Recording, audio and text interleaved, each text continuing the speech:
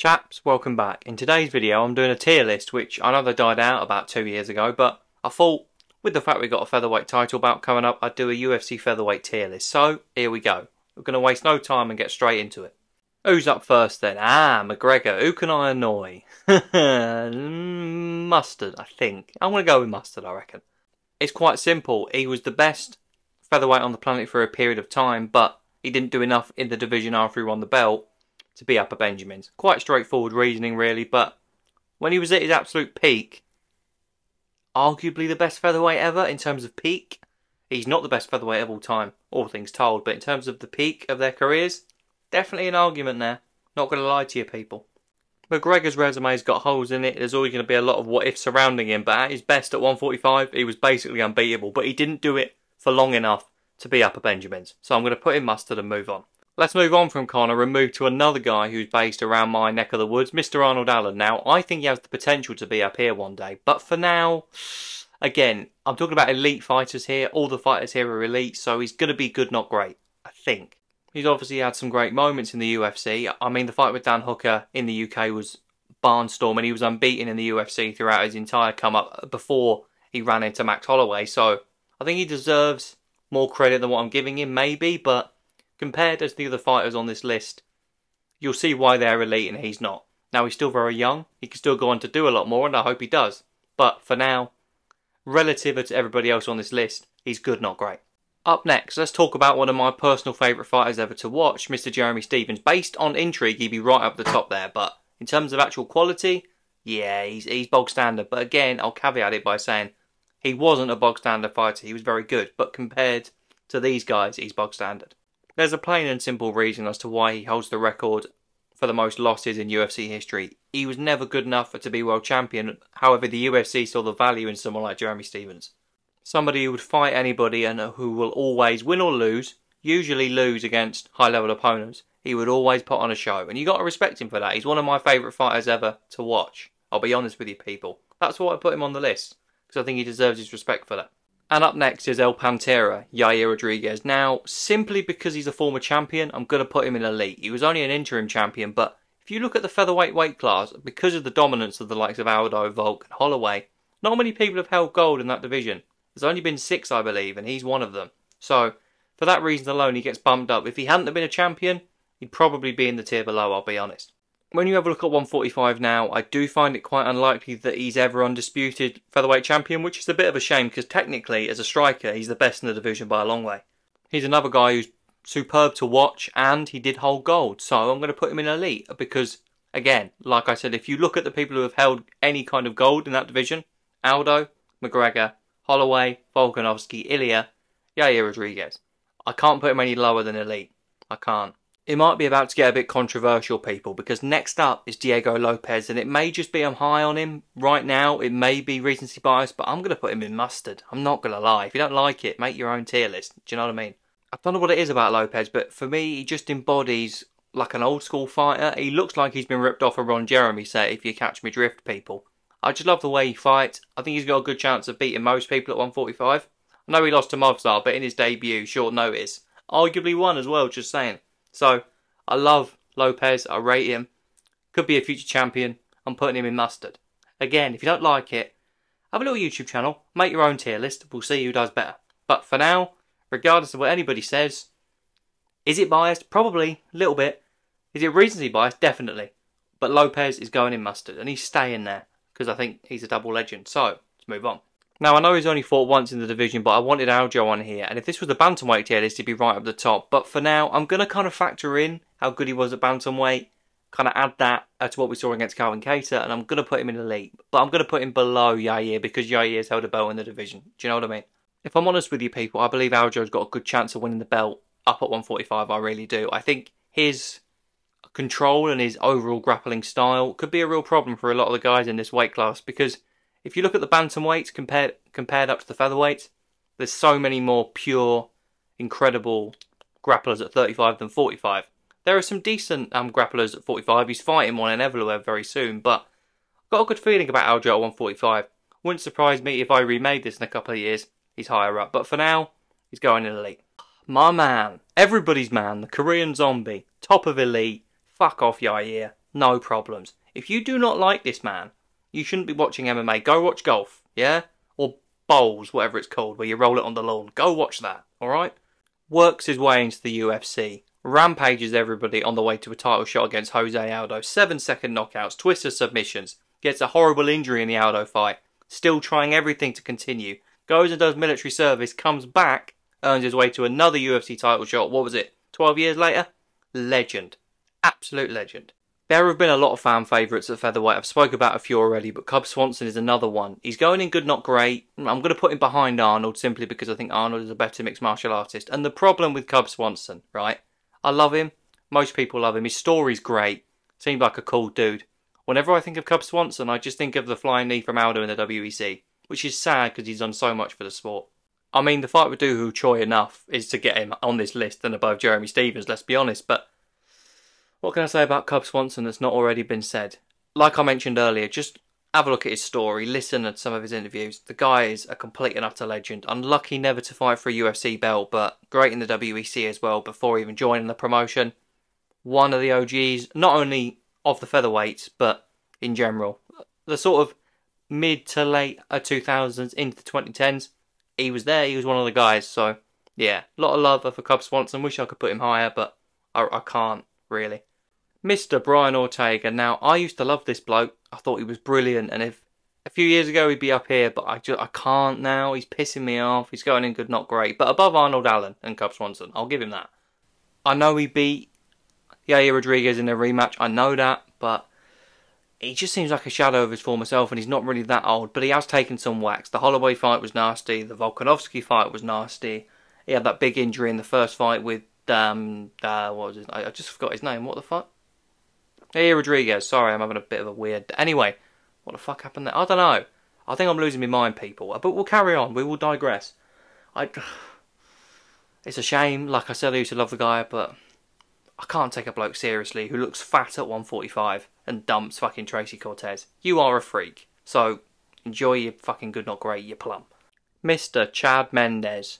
Definitely, definitely the best UFC featherweight to never hold a title. Get in the middle. Get in the fucking middle. There we go. In between Lopez and Conor, in mustard. No two ways about that. He had everything you needed uh, to be a good MMA fighter. Great wrestling base. Very light on his feet, uh, considering he was quite thick cut and dense. Massive power. Loved watching him. Chad had everything you needed. He had a fantastic wrestling base. He was light on his feet, even though he was a stockier guy. Massive power. The only problem he had was he was in the air of Jose Aldo and for one reason or another, um, uh, whether it's a huge flying knee from absolutely nowhere off the back of a takedown defense, or just over five rounds, he just couldn't, he just couldn't get the better of him. He was never able to beat him, which is not an insult.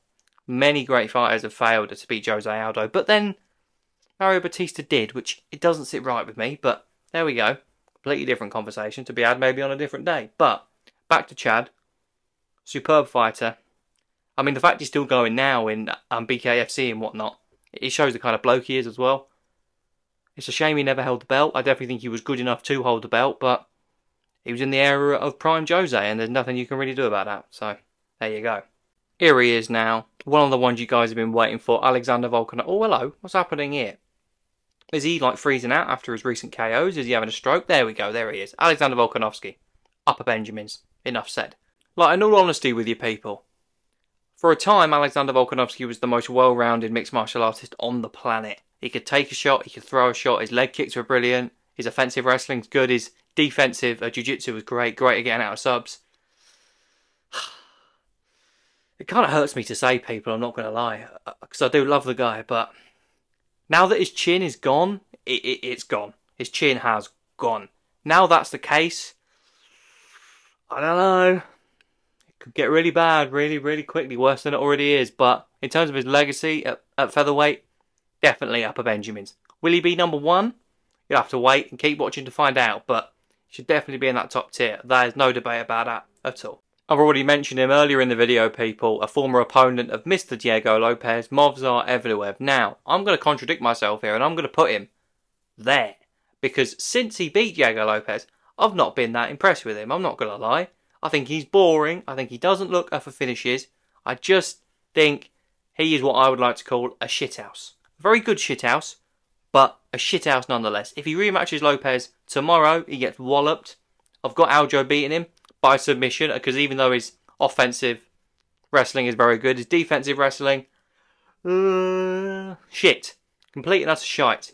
Sounds a bit harsh, I know, but there are some fighters that I just look at and I think, you're not as good as people think you are, my friend. He's one of them. I'm sure he's a lovely guy. Uh, I'm sure he is. I bet he's a lovely bloke to sit around and talk to, but I've never spoke to him. As a mixed martial artist, as a fighter, he's boring and he's not as good as people think he is. So, he's going there. Run over. Let's move on. Ah, oh, yes, here we go. Here's the man, Mr. Jose Aldo. One of my favourites. I'm sure he's one of your favourites. He's probably one of your dad's favourites. He's been around for that bloody long. But what makes Jose so good? Well, you probably need like a, a crane or some kind of XL forklift to try and take him down. You'd need to literally smash him into the canvas. If you don't do that, he, you're not getting him down. He's got some of the most athletic, well balanced takedown defense that I've ever seen. There are so many ways uh, to explain how good Aldo was and to kind of honour him, but I think his nickname kind of does it all. In a time where Anderson Silva, Vitor Belfort, Lyoto Machida, Wanderlei Silva, Shogun Rua, all of these legendary MMA fighters from Brazil when they were all out and about and doing their thing, this man was the king of Rio. There's not a lot more that you can say to prove his legendary status. There was a time where he was the pound for pound best fighter on the planet, even when GSP was champion, even when Silva was champion. This guy, for a period of time, was ranked above them in the pound for pound rankings because he was that good. If you wanted to try and strike with him, he'd beat your leg up, take your head off. Don't try and take him down, you'll just waste your own time. Don't try and submit him, you'll waste your own bloody time. It was only when he started getting slightly older and he got chinned by Conor that holes started appearing. Before that, there was nothing. Jose Aldo is still the best featherweight of all time. Period. Similarly to Aljamain Sterling, another fighter who's known for their exploits in a different weight class, Frankie Edgar. And to be honest, considering how much hype there was around him moving down to 145, I'm going to put him good, not great, which I know sounds harsh, but I'll explain after those wonderful fights against BJ Penn and he had a bit of a lightweight title reign, he then lost the belt. And everyone was saying, well, he's a bit small for 145, so if he goes down, he'll dominate there as well. And he didn't. I'm trying to be as respectful as possible because Frankie Edgar is a legend in his own right and he's one of the best lightweights of all time. But if you look at the fact he fought a featherweight gold twice, it may even be three times, I don't quite remember off the top of my head. I can't really tell you what his best win is off the top of my head either, and I like to do these off the top of my head and like kind of spit it off the dome because I think that's the most raw reaction to things. I can't think of a Frankie Edgar win at 145, which is a shame because there was a lot of hype around him going down, but it is what it is. Josh Emmett. Okay, where am I going to put Joshy boy? Well, I'm going to put him there, above Jeremy Stephens, but still bog standard because he's a bit of a one trick pony, and the one trick isn't even exactly what you think it would be. Obviously, he's a fantastic wrestler, so you naturally believe that his main thing is I'm going to take you down. But he's just got this right hand from hell, which has been effective. The way he chinned Bryce Mitchell and Michael Johnson, for example, was insane. But if he can't take you down and he can't chin you, if you're ranked or in any way half decent, you're probably going to beat him. I mean, Yair Rodriguez is not a superb, fantastic mixed martial artist, and I would put him in elite. The only reason why I did that was he won a belt, the interim championship, where he beat Josh Emmett, and Emmett was terrible, awful in that fight. If you are a sloppy volume puncher or a BJJ guy who's not particularly great at getting the takedowns in order to set up the submissions, Josh Emmett's probably going to catch you and knock you out. If you've got any kind of elite level skill like even a slightest bit of championship caliber, you're going to find a way to beat Josh Emmett. I mean, look at Ilia. He completely ripped him to shreds. I know Topuria is brilliant, but in comparison, yeah, he has to go at the bottom for me. I think this next man may be the most underrated 145 of all time, Ricardo Lamas. Again, he was in the Aldo era, and by the time Aldo had come off his pedestal, he himself had got a bit old and had kind of fell down the rankings as well. But in his prime, Ricardo Lamas is a top 10 featherweight of all time. That's why he's in a league because I believe if you were to put a Pete Lamas right now in the division, probably only Volkanovski, Holloway, Lopez, and Ilia Topuria beat him. For me, at least. I I know he got chinned by Josh Emmett, but again, that was very, very late into his career. I remember, and I got a story for you here, only a short one. I was about 11, 10 maybe, and he fought Matt Grice on um, the Cheick Kongo Pat Barry card, I believe, that crazy back and forth fight with the weird ending. I was very, very young. I found it online. There was some highlights on it on YouTube somewhere. I can't remember even where it was. It may have been YouTube. It may have been somewhere else. I don't even know about them. But I remember later on that year, it was like a Halloween kind of um, dress up sort of thing. And I went as Lamas because I just loved that performance. And I had the little mohawk and everything. I thought he was an absolute legend. So again, could be a bit of bias from me, but always been a big fan of Lamas. And I think he deserves a lot more recognition than he gets, definitely. Yeah, I mean, Max Holloway's up next. He's always going to go in upper Benjamins. I'm going to put him at the back because he lost three times to Volkanovski. I know he beat Aldo twice, but Aldo's the GOAT, so whatever. And I just think prime peak Aldo, prime peak Volkanovski, prime peak Max Holloway. There were more holes in Holloway than the other two. I know he's got great takedown defense, and you need a bloody half a small army to knock him out, and they may not, they might not even be able to do it. But look, I'm not trying to diss Holloway here. He's had some fantastic performances. Obviously, recently he's had Gaethje, he's had Calvin Kattar, and even if you go back, he had the Aldo fights. The Anthony Pettis fight was brilliant off the top of my head, but yeah, he's obviously worked his way into a position uh, to fight for the title again. He's got Ilia Topuria over the weekend. I'm not entirely sure how I feel about that fight. I'll be doing a full breakdown tomorrow on the channel, Friday, 6 pm. Keep your eyes peeled. But yeah, Max Holloway is some people's featherweight goat, and if you believe that, I'm not going to argue with you because I think the guy is an absolute legend and I love to watch him fight like we all do. But yeah, there's no doubt he's in upper Benjamins. Nobody's arguing that. And if you do, you're bloody stupid. And of course, the only way to finish a featherweight tier list is with the current featherweight champion, Ilia Topuria. He's going top of mustard, ahead of Conor, but below the top three. I said a minute ago that I think for a period of time Alexander Volkanovski was the most well-rounded fighter on the planet. I think Ilia Topuria is the most well-rounded finisher on the planet. You hear a lot of people say, oh, he can finish you everywhere, and there are fighters who can do that. Oliveira's got power in his hands, and of course, superb uh, jiu-jitsu. Bas Rutten was one of the first guys. He was TKOing everybody, then he learned how to grapple, he submitted everybody. There are people who can do both. I think Topuria is the most proficient in both in the sport at the moment. And normally, if you are incredibly gifted at both knocking people out and submitting people, you would try and knock out the grappler and, and submit at the knockout artist, right? In theory. Topuria completely battered the power puncher in Josh Emmett and submitted the grappler in Bryce Mitchell. Doesn't matter who it is, it doesn't matter where the fight is. If he's against Max Holloway, he can strike with him. If it's against, like I said, a Bryce Mitchell, even Aljamain Sterling, he would probably back himself on the ground. Whether he come out on top, I don't know, but you're never safe in a fight against Ilia Topuria. And Max Holloway's 100% never been finished streak is on the line. More than it has been in pretty much any other fight he's ever had. I thought Gaethje would crack his chin, he didn't. If anybody's going to now, it'll be Topuria. I have no doubt about that. If he beats Max Holloway, and he beats Volkanovski again, which I think will probably be his next fight, and then he beats a Diego Lopez or an Aljamain Sterling or a Movsar Evloev, God forbid, he starts to put together a resume that could match Volkanovski's.